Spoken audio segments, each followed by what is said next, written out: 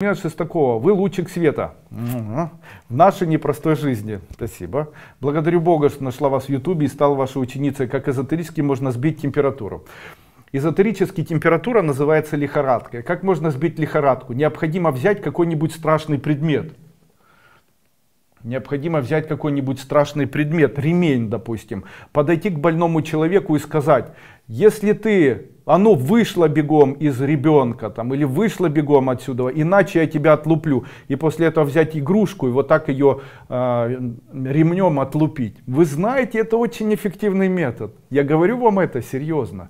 То есть, если у человека температура, то можно зайти и отстегать сноп сеном, или отстегать там какую-нибудь игрушку, или отстегать там свернутое одеяло прям кнутом и сказать, ах ты лихорадка, ах ты сволочь, а ну пошла вон отсюда. И она уходит. Таким образом, после этого стать там над человеком, которого лихорадит, у которого температура, и сказать, не уйдешь, сейчас отлуплю тебя, понятно, не уйдешь, отлуплю. И у человека исчезает.